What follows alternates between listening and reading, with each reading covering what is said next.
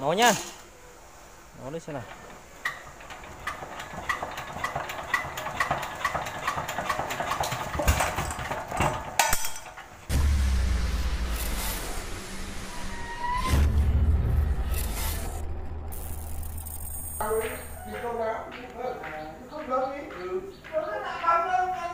Đây các bạn ơi, hôm nay đi ờ, đại tu lốt cái con ờ, 1125 này các bạn. Đấy. Tại tu nốt nhá thì cái con này nó nó bị hỏng trục cơ rồi các bạn. Lần trước chạy là nó nó bị hết nhớt. Thế nên là nó bị hỏng mất một cái trục cơ này. Đây trục cơ đây các bạn, đây là trục cơ mới nhá. Thì là mình ờ, ờ, mình mình mình đã tháo hết ra rồi này mình tháo hết ra xong là mình đã vệ sinh sạch sẽ đây các bạn nhìn này cái này đã được chưa các bạn bây giờ mình sẽ tiến hành lắp ráp vào thì mình sẽ mình sẽ quay cho các bạn xem nhé. Đấy thì mình hôm nay con máy này là mình sẽ thay một cái trục cơ này và một cái vòng bi này nữa các bạn. Vòng bi thì nó sượng rồi năn là nó sượng rồi. Nó nó bị rắt rồi. Đấy, thì con này thì hơi hoa thì nó không có vấn đề gì cả. Chủ yếu là mỗi à, cái trục nó bị mất nhớt tâm ra nó bó mất cái cổ trục này nó bó nó bị sướng với cổ trục này các bạn.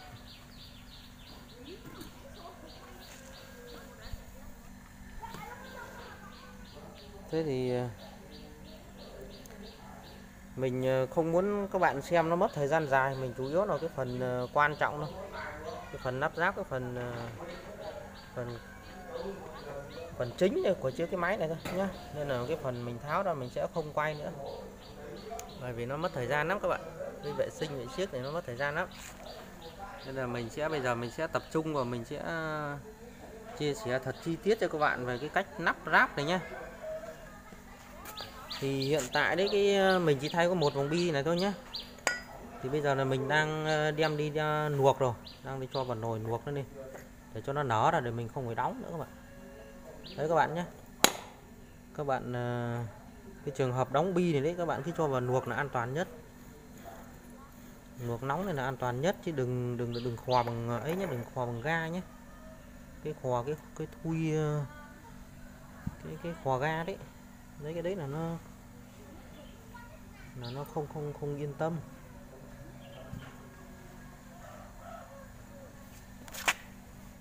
Đấy, đây các bạn bơm nhớt này còn, như mới này còn, con máy này có chạy mấy đâu, con máy này là máy phát điện các bạn đây để trước trước nắp cái cái củ phát điện đây này để kéo cái củ phát điện này.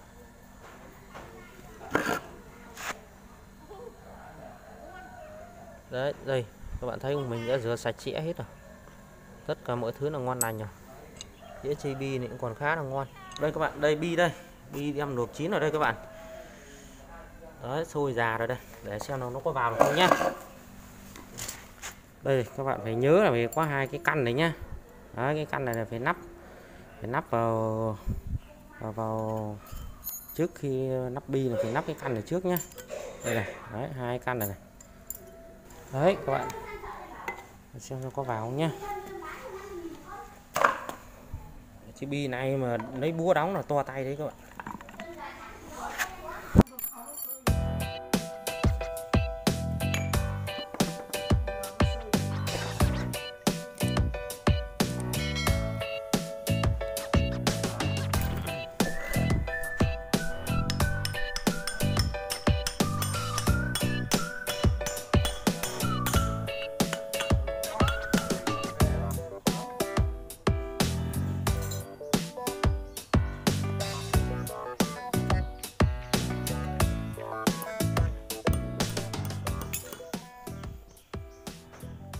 Bạn lắp cái ờ, bánh răng này vào nhé thì cái số này nó quay ra ngoài là đúng rồi nhé thế về này cái phanh này này.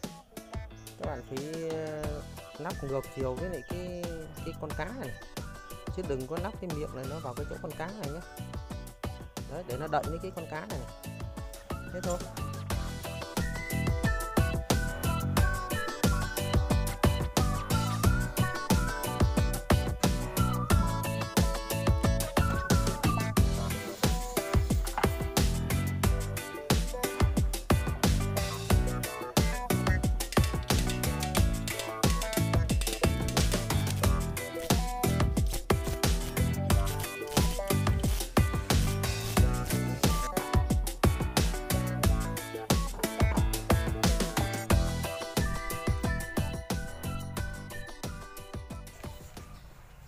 Đây nhé các bạn.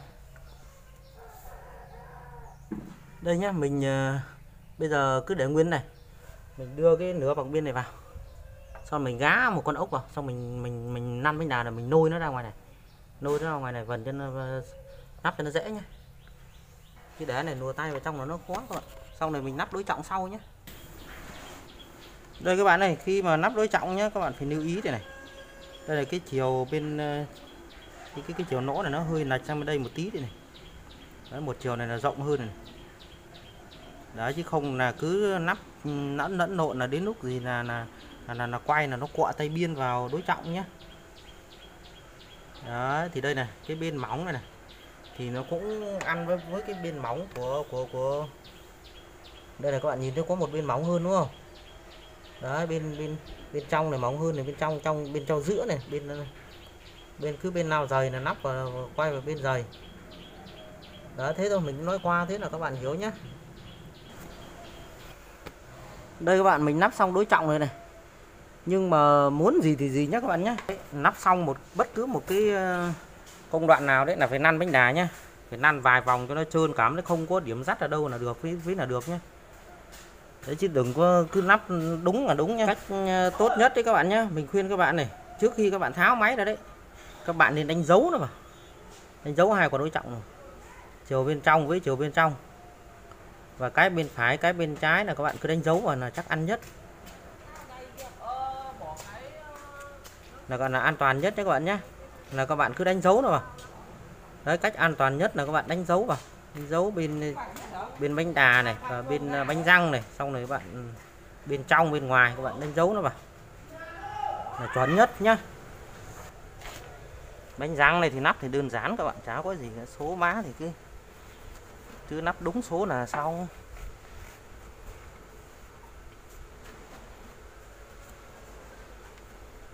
Đấy, các bạn cứ bôi nước vào những cái trục trục điều tốc này cho nó trơn với nỗ tay quay này này. Đấy. rồi thế rồi nhá bây giờ thế này. Đối với cái trường hợp mà mình không tháo hơi rồi đấy mình không tháo dàn quà đấy mình muốn để nguyên đàn quà mình không động gì đến nhá. Đây này các bạn này. Các bạn ờ, ví dụ như là trường hợp mà cái bánh răng cam này các bạn xoay này. Đây cái số nó đây này, các bạn nhìn số chưa? rõ ràng chưa? Số này nó không về cái điểm này nhé nó phải giống với này cái cái cái cái cái trục của bánh răng ờ, điều tốc này nhá. Nhưng mà đến điểm này nó kịch rồi. Đây cũng thế đây là xuống dưới này, số nó xuống dưới này. Nó không về được cái chỗ này các bạn. Thì là do là mình không tháo toàn quà ra thì các bạn nếu mà các bạn muốn nó quay về đấy các bạn phải tháo dần quạt đấy tháo quạt ra là sẽ tự động để xoay được xoay chiều não được. Đấy còn đây là mình đang để dàn quà mình chưa tháo dàn quà không tháo vui không tháo dàn quà thì mình thì nếu mà trường hợp đấy mà bạn không muốn tháo thì bạn phải làm thế nào? Thì đây các bạn đưa cái đánh răng tay quay này vào. À đưa đánh răng ờ, điều tốc này vào. Đấy, vần thế này. Đấy vần đến, đến cái điểm nó kịch nhá. Nó kịch nhá. Thì bạn lại rút ra rút ra xong các bạn. Nhá lại bánh răng ờ, chủ cơ. Các bạn lại cho nó vào. Đó các bạn cứ đưa cái, cái số tay quay này nó giống với cái trục điều tốc. Số 2 này này. Đó nó nằm thẳng với điều tốc. Thế là được thế là mình rút ra. Đấy. Mình rút ra thì mình bắt đầu mình vần cái cái bánh răng trục cơ này. Tìm số 1 tìm số 1 giống thẳng với lại cái trục điều tốc này và số 2 giống thẳng này. Thế là giờ cứ y thế là mình nắp thôi, các bạn ơi. Đấy, thì giờ thì cứ số một, số 2 vào với hai, số 2 một, số 1 vào với hai, số 1 một số 0 vào với hai, số 0 thế cứ thế mà mà nắp thôi các bạn. Dễ thôi.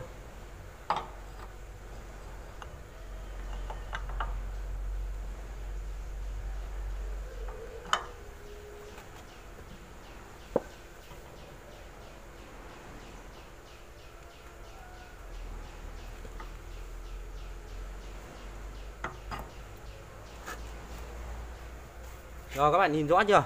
Mình đá máy quay này nhìn rõ số 0 này. Đó, số 0 vào với một hai số 0 vào giữa số 0 này. Số 1 vào với hai số 1. Và số 2 vào với hai số 2 các bạn này. Đấy. Thế thôi. rất đơn giản nó bánh răng chả có gì nữa thế rồi xong đến cái phần ờ, bánh tay quay này thì cũng vậy thôi bánh tay quay này thì ừ, đây ở đây nó có số 3 đây bánh tay quay đây số 3 đây đấy. Các bạn thấy chưa? Này. Đối trọng, số 0 đây, số 3 này. Rất dễ.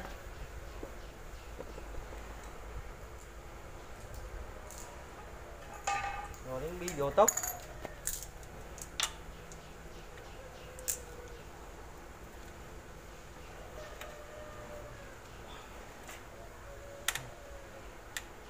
đấy các bạn ờ, không nắp được thì bôi cho tí mỡ bò vào cái vào cái viên bi này này. Xong các bạn đặt ở đây là nó dính này nó không bị đổ ra. Đó, còn hai viên bi dưới này thì đây các bạn thấy chưa? Đấy như mình thì mình không thích bôi mỡ bò. Nắp thế này thôi.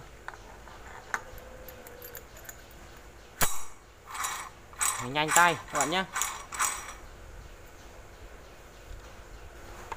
đây nhá các bạn ơi bây giờ bánh răng là xong rồi nhá. Đấy rất đơn giản thôi.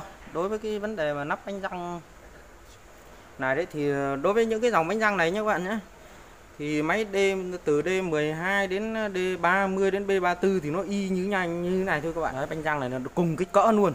12 này 20 24 30 này. Là chung một cái cỡ này nhé thì có đối trọng là nó khác thôi. À, cái cam quên cái cam này, này với lại những cái quả đối trọng này nó nó khác nó to hơn thôi. Thế chứ còn cứ về phần bánh răng này nó y chang như nhau. Đấy, thì bây giờ, ví dụ bây giờ mình lắp bách nhôm mình nhé các bạn. Đây này. Bây giờ trường hợp mà các bạn phải tiếp tục lại phải năn bánh đà để lắp bánh nhôm mình nhé cho nó dễ nhé thì đây này, mình báo này. Cái trục cam này đấy, mình lắp xong bánh răng đấy. Là cái trục cam này nó có cái vấu này nó nó lệch tâm này cái vấu này. Nó có một cái đường hơi thẳng thẳng này các bạn thì mình đặt ở bên đây. Đấy đây này. Thì nắp và phát mới ăn ngay được chứ không là các bạn không nắp được vách nhôm ở đâu nhé đấy các bạn đưa nó vào đưa vào cái chiều thẳng này này. Đây này đây này. Đó đây này. Cái chiều thẳng này. Là, là nó về phía tổng bơm này, này. Thì các bạn mới nắp được chứ cái... đây bây giờ mình đưa cái tổng bơm này vào là vào ngay nhé chứ không là các bạn mà mà để như lúc nãy đấy là, là, là không vào được vách nhôm đâu. Đây nhá các bạn nhá các bạn nắp vách nhôm này cho cái đường tay quay này nó vào trước này. Đấy cái đường tay quay này nó, nó vào trước thế xong mình cứ giữ thẳng của nó là vỗ nó vào. Các bạn thấy chưa?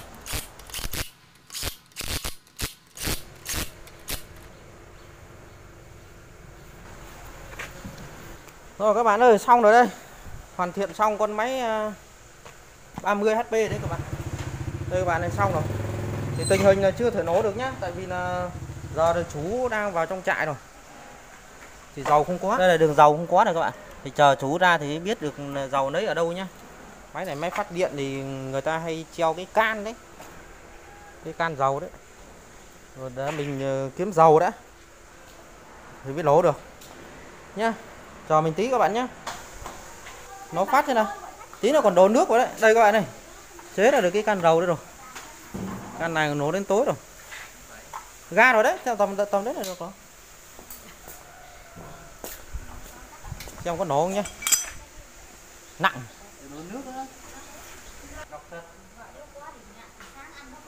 Mỗi bát canh. Giờ quay phát này là hết sạch luôn. Thì thế với ăn cơm trưa chứ này, thế thì định không ăn cơm trưa sao? Cái này đầy gì đầy rồi sao được anh? Nó khỏi bốn năm cái ấm đấy. Kệ nó quay là nó lại nó chạy lên hết. Nó ia ở dưới cơ chứ ia ở trên thì không gì. Ia ở trên cái ống thì không gì. Ia phải ia ở dưới cốc. Nó nhá. Nó đấy xem nào gãy tay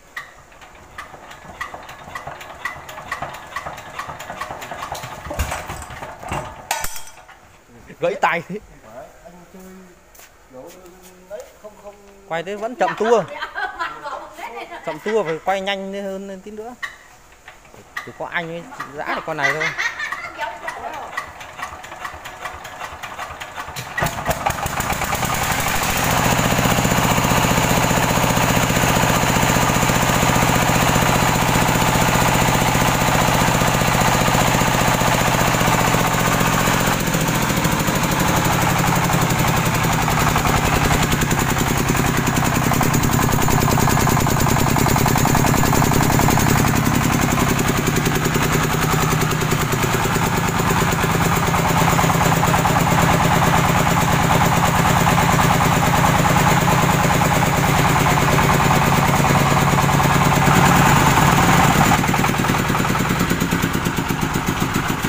जरा